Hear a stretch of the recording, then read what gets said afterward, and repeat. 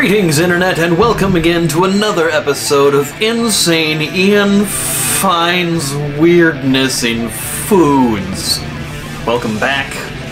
If you remember last week's episode, I, uh, I kind of got into some snacks that uh, I apparently shouldn't have.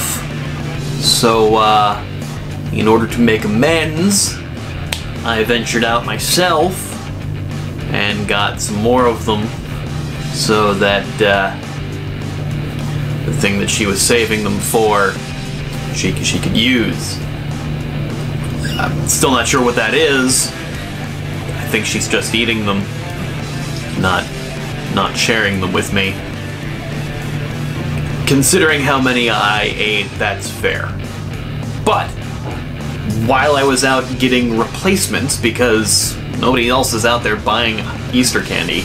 There's a ton of Easter candy just still sitting there in stores because this. I also managed to find some other snacks. One of those things are these really weird savory Pringles. We've got Pringles Reuben and Pringles rotisserie chicken. Pringles, are you okay? Are, you in trouble? Do you need help? What's going on? Now, I found these, I think either the same day or like uh, the day before uh, the Try Channel did their own uh, weird Pringles flavor video. I was actually looking for the Rick and Morty Pickle Rick flavored Pringles, but I haven't found that yet. But I did find these two weird things, so that's what we're gonna try. They tried a bunch of uh, weird Pringles flavors too, but all of those flavors were apparently from Australia. Like, I, I would, I would like to try those. There's a bunch of things from Australia that I want to try.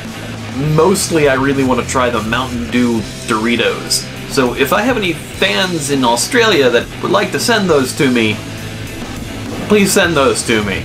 You can contact me and my various social media things that are linked at the end of the video, and I'll put a link in the description as well. But uh, yeah, I've not been able to get a hold of those, and I really, really would like to because my curiosity is strong. But, all that out of the way, my curiosity is kind of strong for these things too, so uh, let's try some weird savory chips that taste like meat, apparently.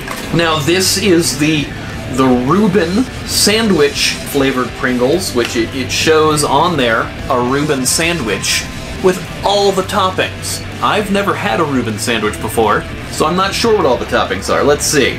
This this doesn't really tell you.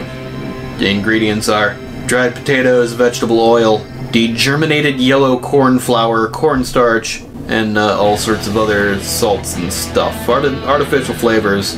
This is not going to tell me what what it's supposed to taste like. I'm guessing it's like, you know, roast beef and cheese, and it looks like coleslaw and some sort of cheese sauce and marbleized bread.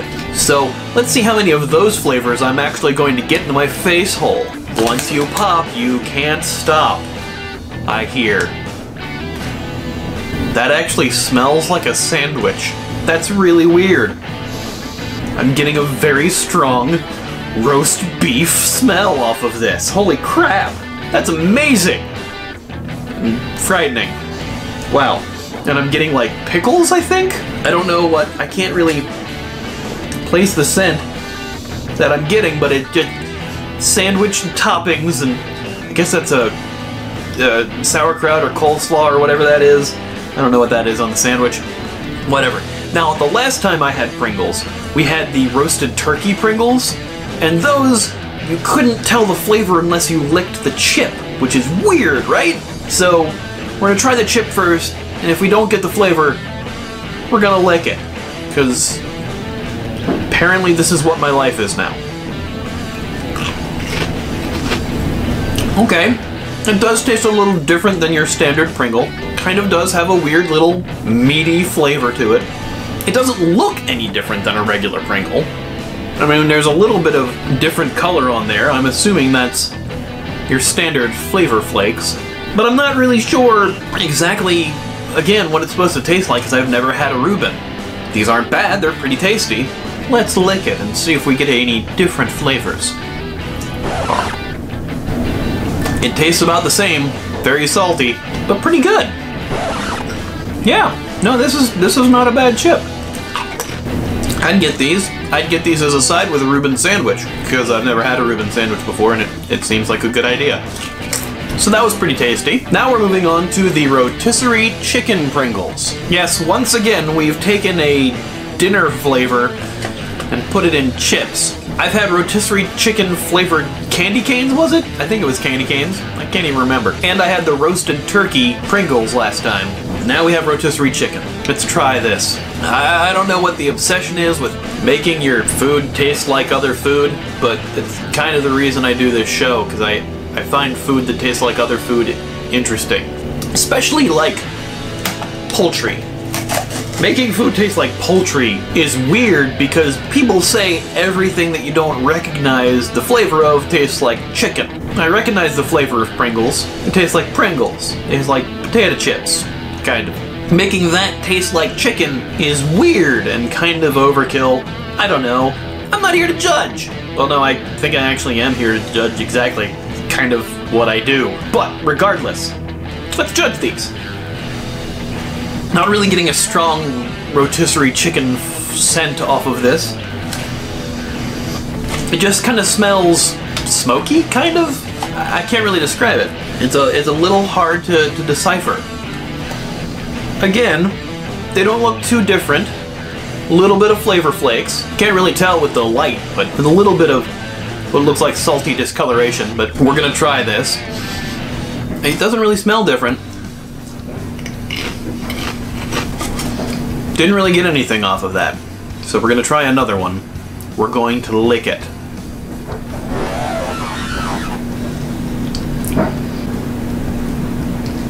Okay, just like the roasted turkey one, when you lick it, there's an aftertaste of cooked poultry. That's bizarre. Again, not bad, just really weird. And how often are you gonna lick your chips? What happened there, I was trying to lick it, and then it broke a tiny piece and just went all into my face, so I ate it. Like you do when you put food in your mouth. They're not bad either. I was expecting at least one of these to kind of be terrible, but they're not terrible. They're not great. I probably wouldn't get the rotisserie chicken one any other time. The Reuben one I might. But they're Pringles that taste like meat. It's neat. It's a it's a thing that they've made. So yeah. Savory Pringles. It's a thing. Well, that's it for this episode. That was really kind of straightforward. I expected to hate at least one of those, and I didn't. But admittedly, I do like a lot of weird things. I keep trying to find weird things in stores. This is a bad thing for me to do. This is not great for my health, probably, but at least it's entertaining, I hope. Anyway, if you like this, if you like any of the previous episodes, give me a like, a share, maybe subscribe to the channel, and if you want to see more of these, consider supporting me on Patreon, because the, the money that I get from there helps me make more of these videos, music videos, brand new songs every month, and all sorts of other cool stuff. Thanks for watching, hope everybody's staying safe, and uh, wash your damn hands. We'll see you next time. Bye! Who needs sandwiches and dinner entrees? Just make everything chips.